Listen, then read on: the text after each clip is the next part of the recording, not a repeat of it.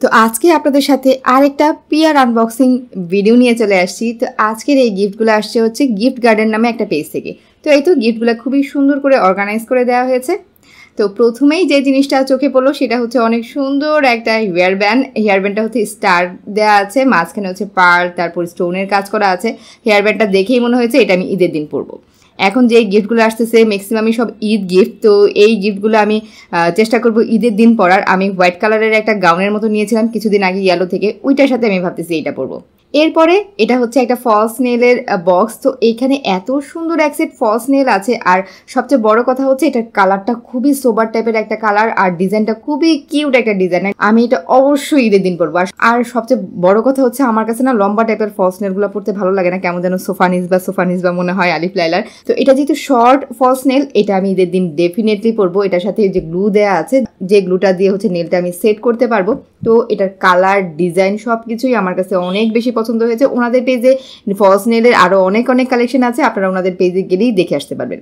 এরপরে যে অনেক সুন্দর একটা ব্রোজ দেওয়া হয়েছে, এই ব্রোজগুলো আপনারা ওনার সাথে, হিজাবের সাথে, যে কোনো কিছুর সাথেই পড়তে পারেন। এরপরে এখানে দেখা যাচ্ছে পার্লের একটা নেক পিস তো এই তো ওপেন করার পর নেক পিসটাই যে এরকম একটা ডিজাইন আসবে, দুইটা চেন এটা হচ্ছে গোল্ডেন কালারের একটা চেনের নিচে হচ্ছে আলাদা একটা পার্ল আর হচ্ছে একটা পার্লের চেন এটা গলায় পরলে অনেক সুন্দর লাগবে। আমি চিন্তা করতেছি যে হোয়াইট কালারের যে গাউনটার কথা বললাম না, আমি ওই গানটা যেদিন পরবো ওই দিন আমি ওইটার সাথে ম্যাচ করে এই নেক পিসটা পরে নেব।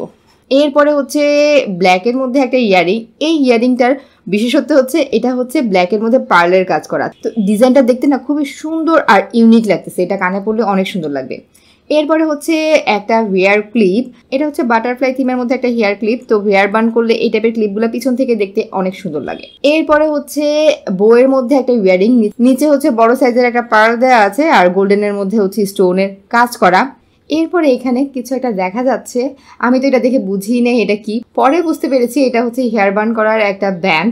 তো হেয়ার বান করার জন্য সুন্দর ব্যান্ডের ডিজাইন কিন্তু খুব একটা পাওয়া যায় না। তো এখানে দুইটা কালার দেওয়া হয়েছে। দুইটা কালারই খুবই কিউট, খুবই সুন্দর বাচ্চা, বড় সবাই ইউজ করতে পারবে। জুটি করলে অনেক সময় চুল ছিঁড়ে আসে যদি ব্যান্ড ভালো না হয়। এটা দিয়ে জুটি করলে কিন্তু চুল ছিঁড়ে আসার কোনো ধরনের কোনো সম্ভাবনা নাই।